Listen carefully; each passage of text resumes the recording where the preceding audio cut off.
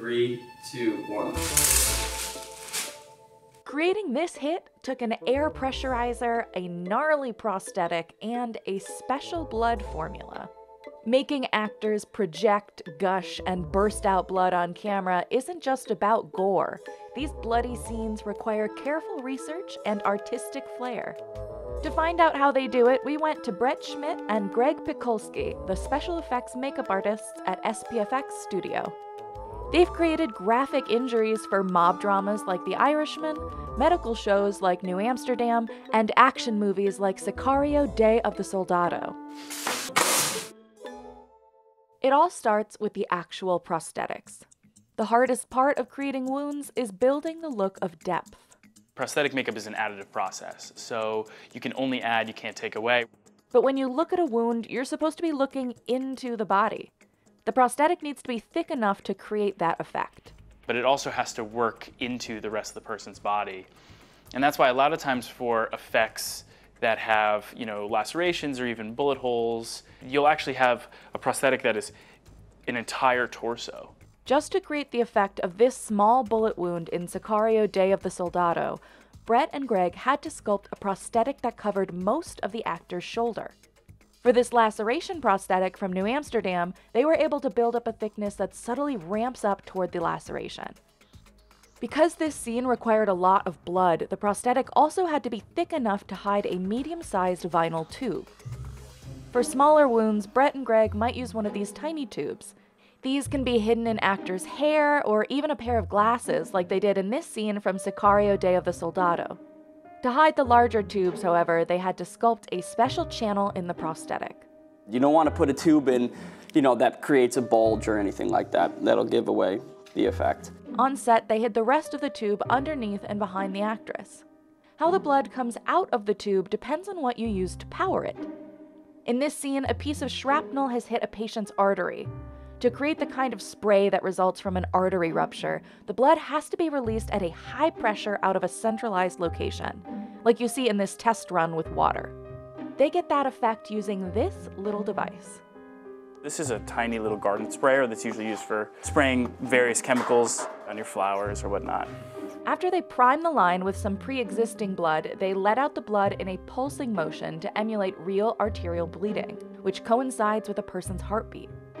The color and type of fake blood is also key.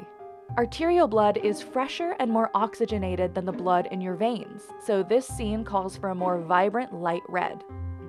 A lot of times what we look for in the color of blood is like that orangey yellowy hue. For an older or partly dried wound, they'd use this brownish red gel, which has a thicker texture to emulate scabbing. But for fresh injuries like this one, the most convincing fake typically contains compounds called opacifiers, which make it opaque so it looks better on screen. Because anybody who's ever seen a really cheesy horror movie will see that clear, like fruit punch colored looking blood that is dripping off the end of a machete or something, which looks like absolute trash. While some wounds have a more focused source of blood, in other injuries, you'd want to see the entire length of the wound bleeding like a throat slit or a slash to the abdomen. So basically on this one, we're gonna try to get like a, a nice curtain of blood instead of just one, you know, centralized location.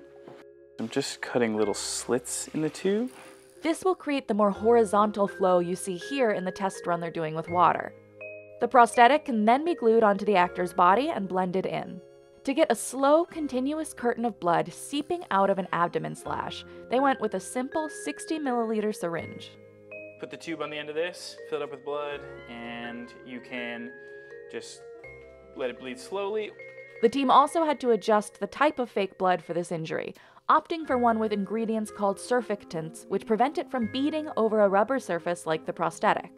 Real blood doesn't do that. It smears, it leaves trails without any beadings. What about when you don't want a continuous flow of blood, just one dramatic burst? These air hits are something you might see in a samurai film or a Quentin Tarantino fight scene. For this effect, Brett and Greg went with what they call a pressure popper. This flat piece goes up against the wardrobe, and then the, the tubing runs, you know, down the wardrobe, down the leg, down whatever it is. This air chamber releases all the air through a quick release valve, which, if they set the pressure high enough, it'll just vaporize the blood. It took a couple of test runs to get the effect as dramatic as we wanted. All right, so we'll do more pressure, but Maybe 40. yeah. Three, two, one. The key was using a lot of blood. For the full effect, though, you'd need to see this in slow mo. These decisions are affected by the style of the edit, too. If they know a hit will only be shown with a quick reveal, like in a fast cutting action sequence, Greg and Brett will lean towards going bigger with the effect. If you do something more on the subtle side, especially when it's atomized or coming out in a stream, unless it's backlit, a lot of the times you won't see it. The blood will get lost. Equally dramatic is the classic gunshot to the head, but that effect calls for a more concentrated blood hit and an attention to texture. To mimic the effect of a bullet, they attach the pressurizer to a blood cannon, a system powered by air that doesn't need to be attached to a prosthetic. Blood cannons allow for more control over where the blood goes, perfect when you want to land on the wall in a specific spot behind an actor. And since we wanted a thicker hit of blood against the wall, they added copious amounts of one of their favorite ingredients, Ultra Slime, a product made from a mystery recipe that gives everything the stringy consistency of mucus. If you've ever seen like Ghostbusters or any 80s movie ever, it's the stuff that makes everything look disgusting. It's so stringy that you actually have to cut it with scissors.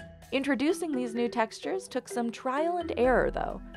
One, two, three. Too much slime, and we didn't get enough of a splatter. It's like someone just hopped up a lung. So they revised the formula and added pieces of banana to emulate brain bits. Three, two, one. I think a banana bit hit my head. I think a banana went in my eye. To make this last one extra dramatic, Greg used a trick from Saving Private Ryan. If you watch it slowly, a lot of the, the actors who get shot, usually like in a scene where there's a lot getting shot, as they get shot, they like spit blood out because it's just another element. It might be over the top, but sometimes that's the point. Anything from horror to medical and anything in between. When you're making a movie, you have that you have that creative freedom to kind of push things and you know and have fun with it.